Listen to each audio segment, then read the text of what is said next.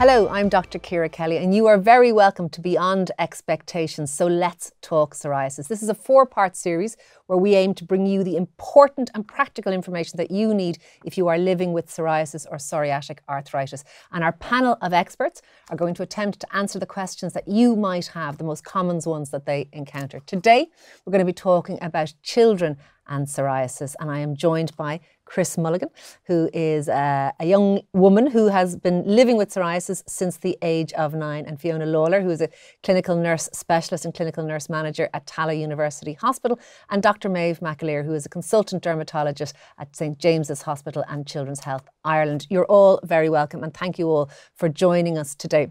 Even though in some ways it's similar to psoriasis in adults, we know that there are distinct issues, maybe around education or around being a teenager with psoriasis or indeed transitioning to adult care. I might come to you first, Maeve, if that's okay. Um, with regard to psoriasis in children, how does it differ from psoriasis in adults and how does it present? What might somebody come across? Mm. Well, psoriasis in children, um, it's, it's a common inflammatory skin condition. It affects about uh, 1% of children, we think. Um, and so it's, it's uh, it's out there, not as common as maybe atopic dermatitis, but a very common inflammatory skin condition. And it presents in some ways very similarly to adults, but there are some differences. So, um, similarly to adults, you know, patients have very well demarcated plaques.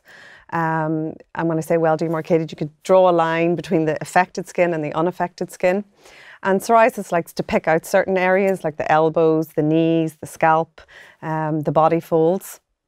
Um, and uh, in some patients, there's very small parts of the body affected, and other patients, they have a lot of their body affected. So there's a lot of similarities to the adult uh, disease, but there are some distinct differences. Um, psoriasis in children sometimes, um, you know, can clear up. Um, can just last a few months and, and, disappear, and that's less common in the adult world. Um, and then you know, in terms of uh, the appearance, it can often be much more subtle in children. So children's plaques can be a lot thinner, there's a lot less scale, and that can make the diagnosis a little bit trickier in children. Um, psoriasis in babies can present as sort of troublesome nappy rash. Um, and psoriasis in, in, in children uh, can often affect the face more than in adults. So the, the presentation of the disease can vary with age. And for people who are maybe attending the GP or for GPs themselves, is it hard to tell the difference between psoriasis and things like eczema? Because eczema, as you say, is very, very common in children yeah. and they do look a little bit alike. Yeah. And, and, and, does that delay the diagnosis sometimes? It can be tricky, absolutely. Um, you know, there is one Australian study that showed that children who had psoriasis were, the majority of them were initially diagnosed with atopic dermatitis. Uh, atopic dermatitis affects 20% of children in Ireland, psoriasis is 1%. So the likelihood is greater, um, but, but there are some differences um, that can help. And, and mostly your, your dermatologist will be able to tell most often by just looking at your child. So, um, you know, uh, atopic dermatitis, uh, for example, affects usually different body sites. For example, it spares the nappy area, where psoriasis in a baby will often uh, affect the nappy area. Um, the inflammation in atopic dermatitis is more diffuse. It's hard to almost tell the beginning and the end of it, whereas, as I said, in psoriasis, it's much more circumscribed or well defined. And I think one of the most important differences is itch. So, I mean, that our babies and children with atopic dermatitis have intense itch, and their itch is so severe that um, when they, they can't sleep at night or when you take their clothes or baby grow off, they have to scratch.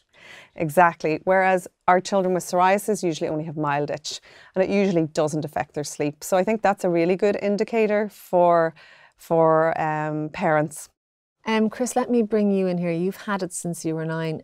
You're 16 now. Can you remember how you first no- noticed it or what you were first experiencing? Um, so first I noticed it on my scalp and it came in big lumps and it'd be all flaky and very, very itchy. And if I scratched it, it would start to bleed and not very nice to deal with.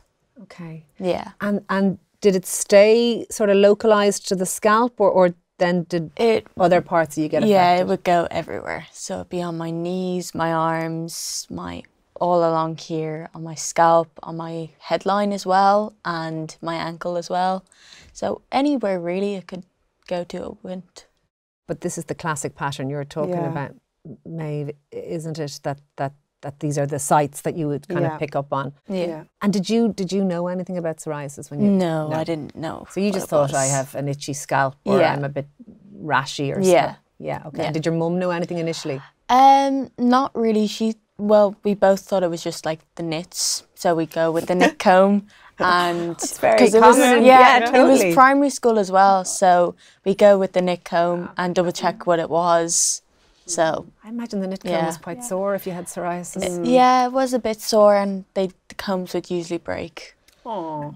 Yeah, That's actually very hard. Yeah. Um, Fiona, uh, this is probably a fairly familiar story to some of the people looking today at this, that they would be thinking either their child has been diagnosed with psoriasis or is living with psoriasis, or maybe they're suspicious that they have psoriasis and, and they're here looking for information. So if parents have sort of seen some of these signs, that the, the rash in, in sort of specific places, that demarcation, what should they do? Where should they go for help?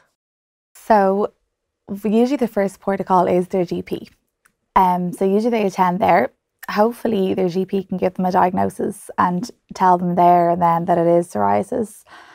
As Maeve kind of like touched on, it sometimes can be hard to differentiate. So maybe if at that time they don't get a diagnosis, we would say the GP then would generally kind of send a referral then to a dermatology department.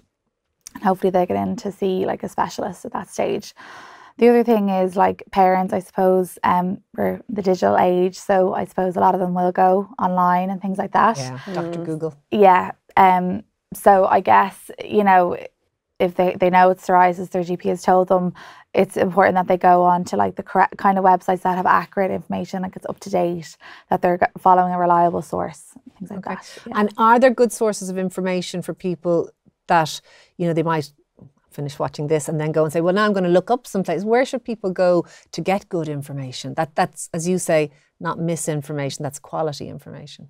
So the Irish Skin Foundation have a really, really good website. Um, they have parent information like leaflets and booklets and things like that.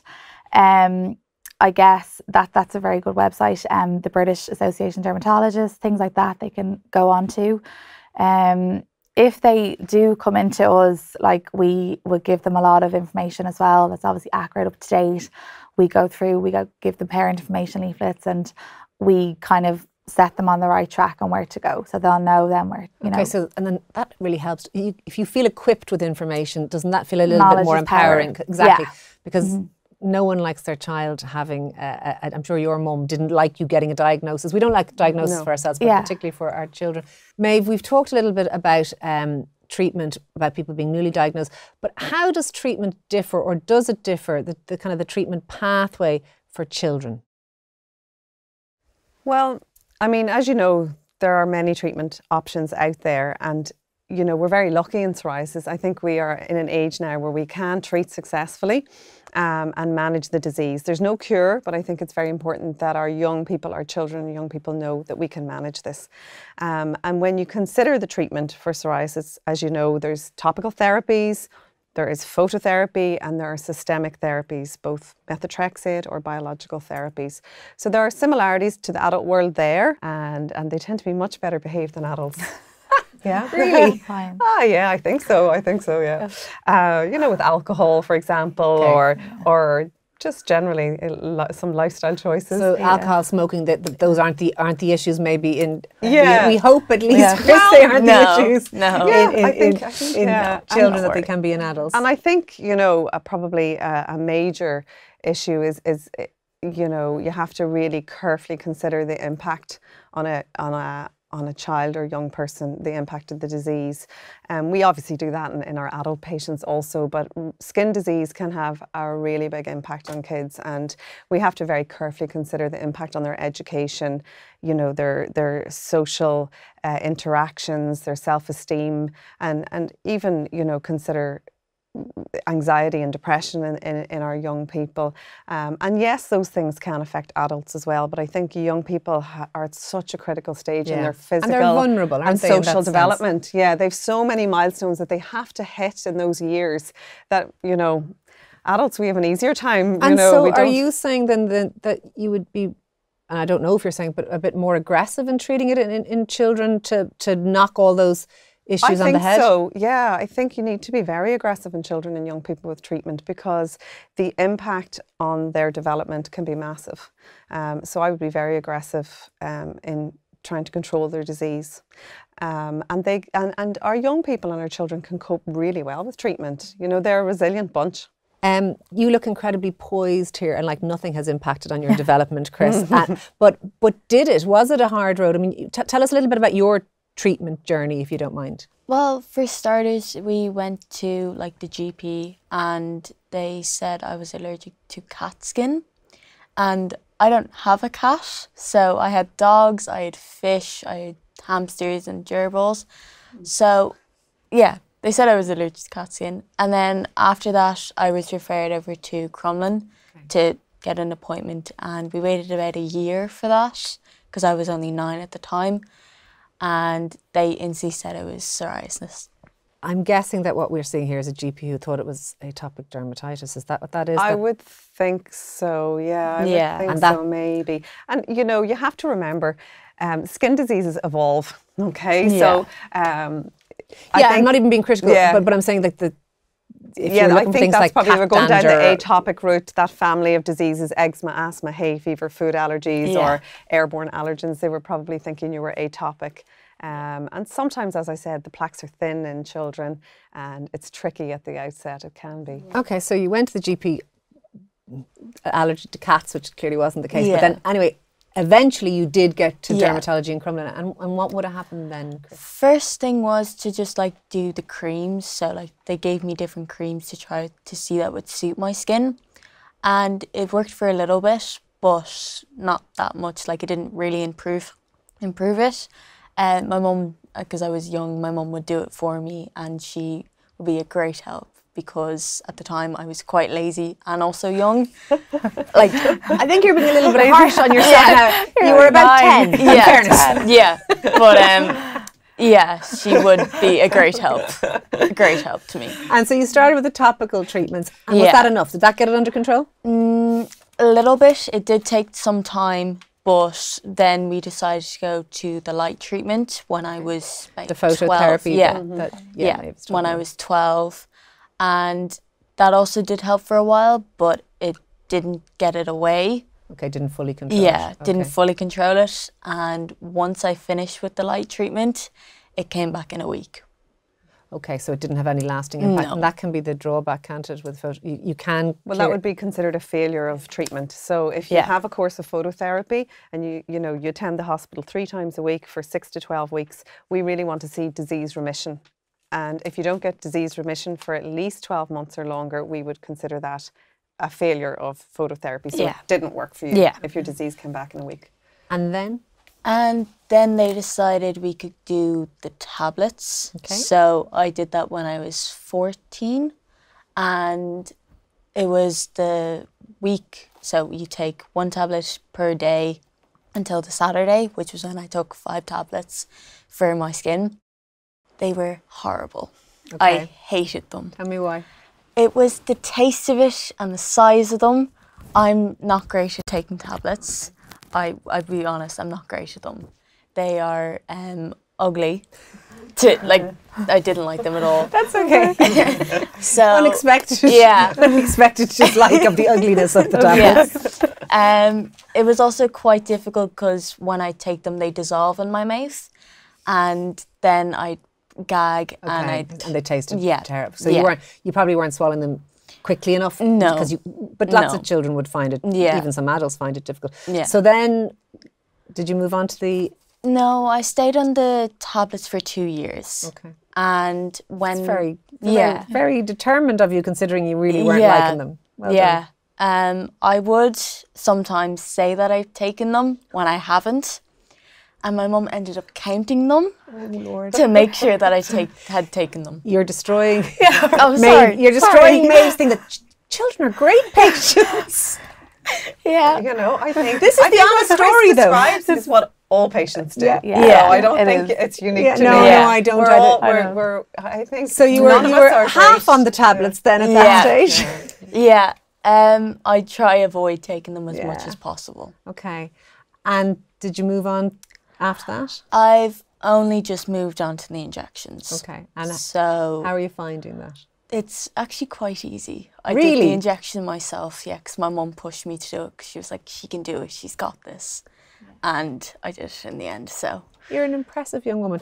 Um, and so, and can you tell yet how they're working or not working? Um, I've only just started on it, so I'd say there'd be an improvement, say, in the 12 weeks. So I'd have to wait and see. And before I, because I, I, want to, I have something I want to ask ask you as well, Fiona. But, but before I do, all of that period, right? So you just brought us from the age of nine, and you were, you know, in primary school. You were Yeah. with the GP, maybe weren't even under the correct diagnosis. Then Yeah. moving into the dermatology clinics and trying the topical things. It wasn't great. ta- trying Yeah. tablets for a couple of years that you Yeah. really didn't like, and obviously the phototherapy, and and none of them getting it fully under control, and none of them.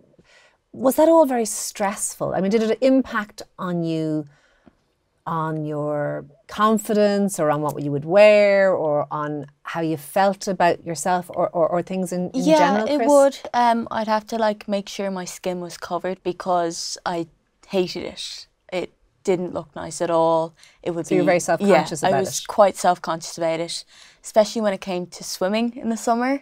I my mum would go shopping with me to make sure I had the right swimsuit so it wouldn't like it would cover my skin. So you weren't um, looking at bikinis, you were looking No. at one pieces Yeah. or, okay, Yeah. all of that. Yeah, and in primary school, it was a bit weird for me to have this skin condition because people would look at me and be like, "Oh, is she sick? Is it contagious? Is something wrong with her? Is she gonna get better?" And And was that very like socially awkward? As in, did you feel, and I don't even know if they were actually, but did you feel in your head people were looking at you and thinking, Yes, yeah, okay, okay. yeah. That's very hard. yeah, and I was the age I was as well, Yeah. so it was a bit weird to be. You're still only 16. I mean, you seem remarkably confident in all of that, and that's a great thing, and I'm delighted Yeah. that you are. But that's what we're talking about. It is hard Yeah. when when you're younger. Fiona, let me bring you in here as well.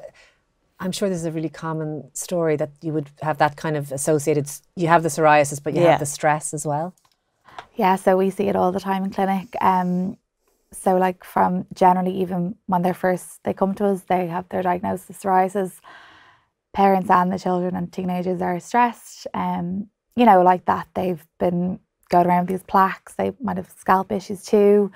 Um, it's probably taken a while to get into us. The stress of, you know, the the the embarrassment. Um, so we like it's heartbreaking for us, and that's why we want to try and do everything we can to you know, you would love to make better, like cure them. But um, we try and give them the tools to Yeah. manage that. So, you know, again, by empowering with education, um, as a nurse, then when they're first diagnosed, we like would sit down with parents and the child and go through. Usually, as Maeve have mentioned, like their first line treatment is their topical therapy. So we kind of go explain all that, the different kind of topical steroids we use, try to find an emollient that suits their skin. We can even demonstrate like how to apply them, where to apply them.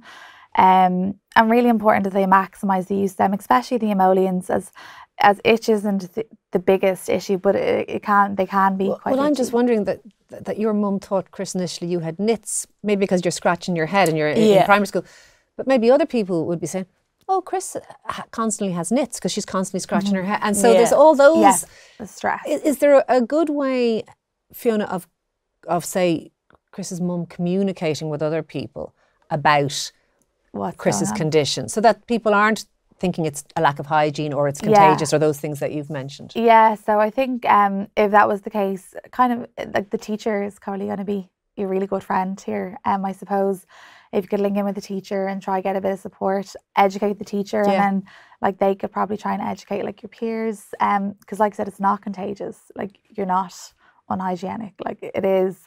It's it's a chronic condition, and you know it can get worse and then it can get good, and like that. There's a lot of kind of um myths there, but we try and with if the teacher can educate them and let them know that actually this is very normal And Fiona, is there a good way of of communicating, okay, with the peers, but also maybe the parent communicating with with the child? Because I'm sure you were having all these emotions, and I'm sure your mum was thinking, "How do I best help you?" Is there is there a good way for parents to talk to? Yeah, I guess like anything, I think we would feel really strongly. Or maybe like, if you, in- both of you. Like, yeah, you- no, I think we feel to really strongly kids about that it. number one, that you're open and honest. Like you don't lie to the child. Like you let them know. Like obviously age appropriate. So you know, depending on their age, like if you have a nine year old versus like a fifteen year old, but you know, you're telling them that okay, well, you do have a chronic condition and. You know, um, it can come and go, and this is so depending on what treatment. Is so whether they're doing the topical therapies or the light treatment or whatever they're doing, like explaining. I think just being really honest. Um, you know, perhaps like having a family discussion, including other family members in it, just listening to their worries. Um, you know, I think would you agree would that have worked for you? Like Uh, yeah, I think it would. Yeah, if people knew, like it'd be quite nice to talk to people. Yeah. because I didn't really have any friends that had my condition. And is that a bit isolating? Um, a little bit, yeah, because it was just me on my own having it, and then everybody else didn't have it. And you're at an age where being a teeny bit different Yeah, is hard, isn't it? Yeah. Um, I'm sure you must hear this as w- well, Maeve, all the time. Absolutely. And I, I think, you know, we always try and tell our patients, you know, it's often hidden. There are other people in your school with this too. You and there are know. lots of adults you just don't know. Yeah. Yeah, Um, because people don't speak about it openly. I think it's important the child knows that this, and the young person knows that it's not contagious, you won't spread it, you won't pass it on, um, that, uh, you know, it's nothing you've done or haven't done. It's you were born with beautiful eyes, brown eyes, and it's just the same thing. You were born with a tendency to get this. And constantly keeping a positive attitude with your child. You know, that this can be managed. There are lots of people to help. And also, you know, encouraging openness, not just in the family, but also in the classroom. And how, you know, there are books you can get um, that can be read to your child or with your child and brought into the classroom. And, you know, telling your young person this is an opportunity to educate everyone else in your class. And that's very useful, um, especially in the late childhood years. Uh, teenage years are maybe slightly different, but um, I know when I was a GP, we used to say when, when a, a child or a young person had a condition, we had two patients. We had the child, but we had the parent as well. You had to kind of absolutely. treat And the both family. and, and help both through it. Yeah. Would you have advice for parents? Because I'm sure parents are not just worried uh, uh, about their child, but also even worried about things like treatment, worried about topical steroids. They've heard that they thin their skin and, and they've read things online. Uh, they're trying funny diets. They're do, you know they're doing you know they're doing all that stuff. Worried about them having to take an injection. Worried about them being on on a drug long term. All those worries. Would you have advice for parents around those kind of fears that parents must be carrying? Absolutely. I mean, you'd rather have something yourself than your child. would. And any tiny thing your child has is a big problem, you know. Um, and parents are not, every single parent is, is anxious and worried about their child when they have a chronic skin condition. Um, and I think reassurance is so important. You know, telling, I- I always like to reassure parents and children we have got this. We do this all the time, you know. Worry, it's my job to worry about what medication, you know, how often it needs to be monitored and to give you the information. And that information is evidence based. It's based on science. We know the safety and we know how it's done. Um, and So you want to reassure them. reassure, absolutely. And our children and our young people are very resilient. They tolerate these medications very well. And we can control this.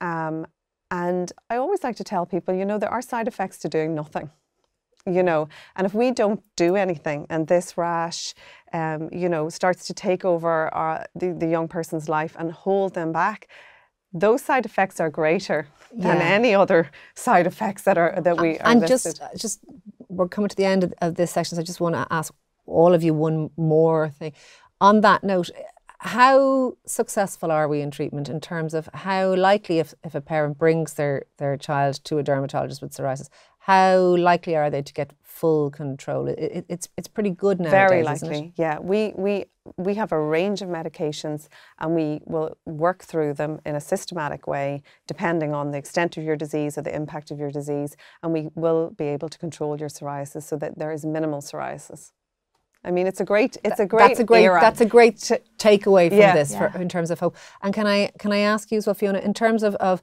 like Chris is now 16. It won't be long before she transitions to adult care. What do do families need to know about making that transition from from the very nurturing pediatric environment into the the slightly slightly more choppy waters maybe of adult care?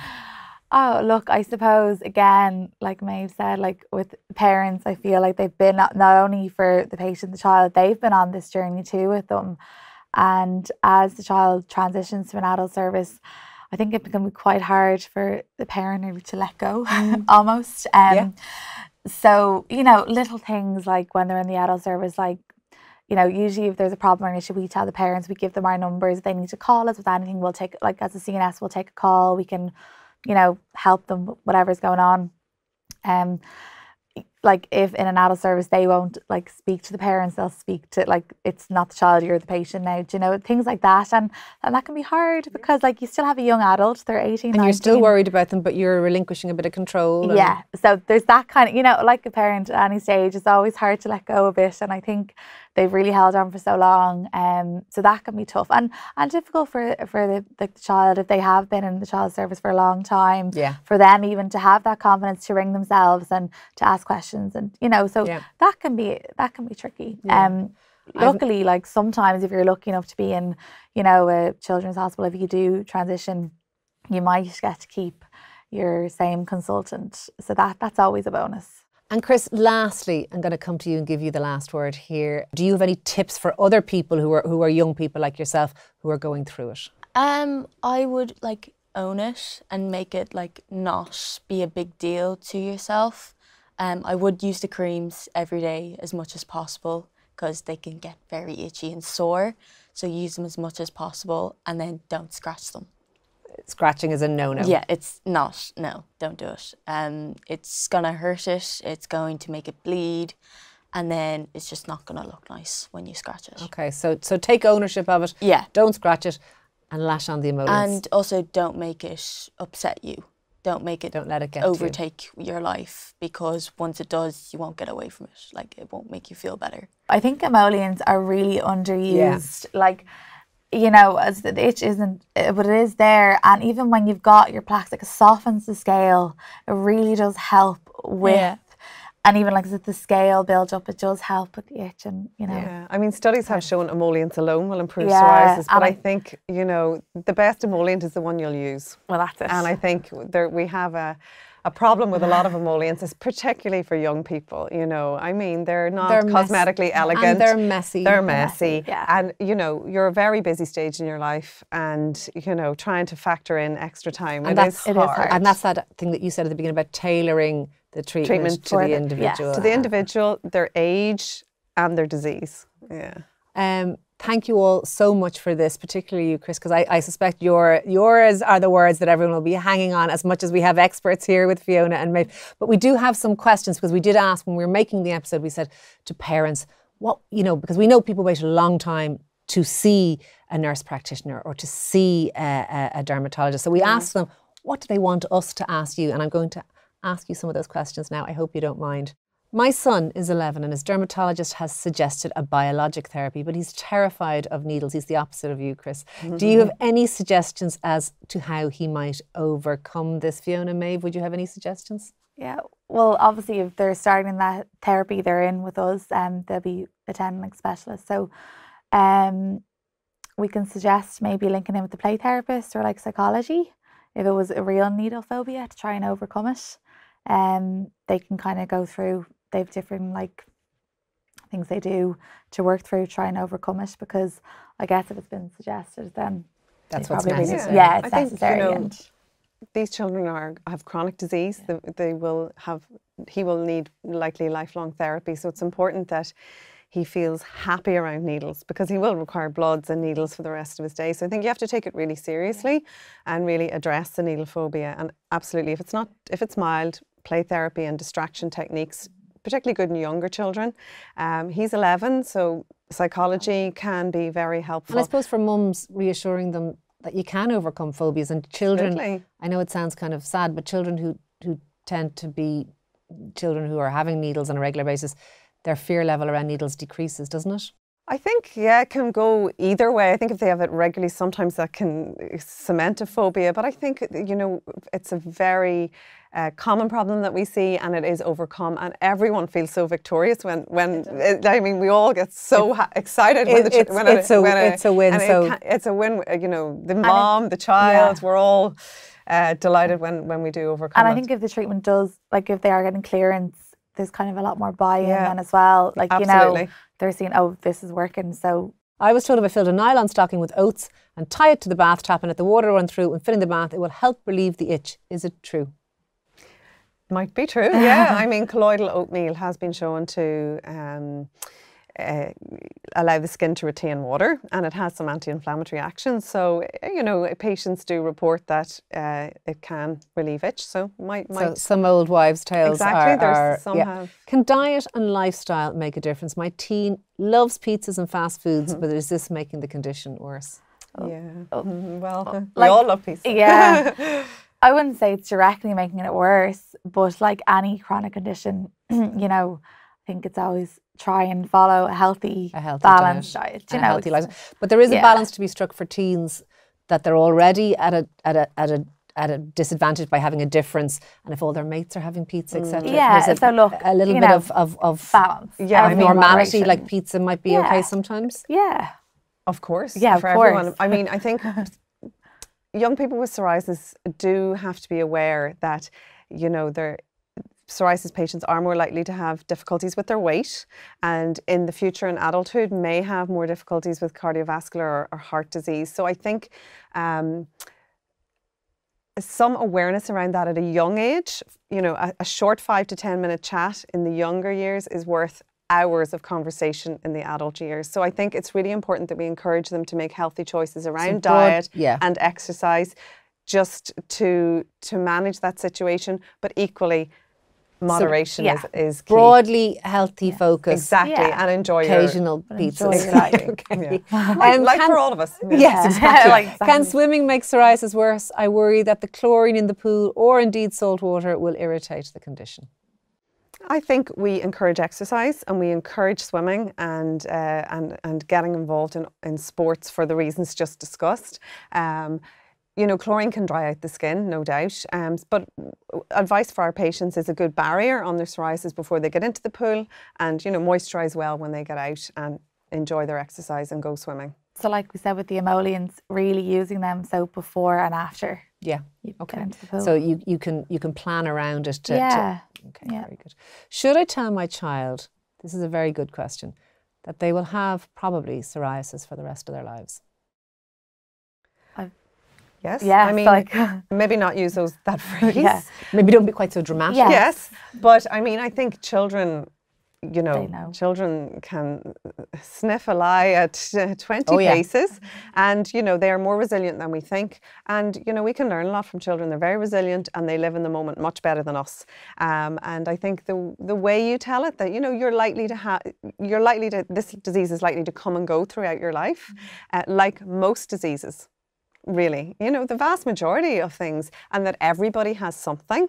But again, really keeping a positive attitude that we're all here to help and there's lots we can do. Was it a blow to you, Chris, hearing that it was kind of a, a, a lifelong condition, more or less, or, or was that okay? Um, I did want it to go. I've wanted it to go since I was younger, and it is a little bit annoying that I'm gonna have it for the rest of my life. But if I do my creams, if I do my injections, I think it's gonna get much better for myself, and that's what I'm hoping for.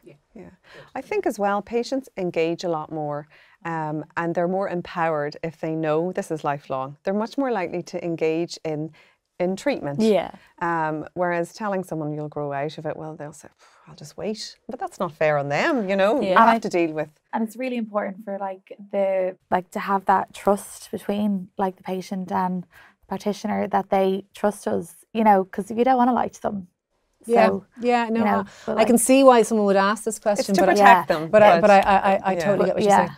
My teenage daughter is really self-conscious when wearing her gym gear in school. Have you any suggestions as to how I can help her overcome this? I presume that's either shorts or a little gym skirt or whatever, so it's more exposure of limbs, etc. Chris, what would you say? Because you're, this is the advice that somebody who's the same age as you would be getting? Yeah, um, maybe wear like a top underneath it with the top over it, so you kind of have stuff covering it. Oh yeah, like those rash things that people wear under. Yeah, yeah. And like a short top. So say if she's wearing one of those like small little tops, you can wear a top underneath it to make yeah. it more comfier for yourself. yeah. And also like you can wear leggings with it, but if you want to wear your shorts, maybe just wear other leggings out underneath it, but make sure that you don't get too warm because then That's very practical advice. Yeah. Uh, I, I'm not sure I would have even thought of it. I wa- I was thinking more of the psychology end of things, but that's actually very practical advice. Yeah. Would you guys have, have any good Absolutely, advice there? And schools are great. Yeah. Um, when you engage with schools and parents engage with schools, teachers and principals are, are you know, Very on board. very on board. And absolutely, I think w- perhaps escalate treatment, be maybe a little bit more aggressive with her treatment if, if she's having these problems. But all the Yeah, practical measures you mentioned whenever, when, when you're waiting for the treatment to, to kick in. yeah. And then letting obviously again about that communication with the teacher and you know letting them know that they do have a chronic skin condition and that's so that they're not so that they're allowed you know Yeah, those. and, and should be a bit sensitive. Don't Yeah, be saying, why are you wearing, Yeah. you know, Yeah, the, the why are you wearing that kind of thing. Yeah, Uh-huh. that's great, great advice. Um, will body piercings cause psoriasis to flare? And I, I mean, there's a big fashion now for, Yeah. I, I see my own daughter as I don't, can't count the number of earrings. Um, is that an issue? It can. I mean, psoriasis can um, flare due to injury. So we can see psoriasis in surgical wounds or in cuts and, and an injury like uh, as piercing, absolutely. Okay. Um, the National Psoriasis, uh, the Psoriasis Association in the UK have a very good website for teenagers. Um, uh, and, and they actually discuss body piercings and things like that on it. Body it's a great website tattoos, all those, all the things that people might be considering. yeah. Guys, we're going to leave it there. Thank you so much to the three of you, particularly you, Chris, but also obviously Fiona and Maeve as well. Thank you so much. We really hope that was useful to you. That is our third episode in our series Beyond Expectations. So let's talk psoriasis. And we'd love to hear your comments, your feedback, and we'd love to you to be sharing your, your, your tips, your advice, and your questions online in the community out there using the hashtag So Let's Talk Psoriasis. We're spelling so PSO. That is our lot for today. Our next episode, our final episode in the series, will be on psoriatic arthritis, and our experts will be answering all your questions. I'm Dr. Ciara Kelly, and I hope that you enjoyed today and found it as informative as I did.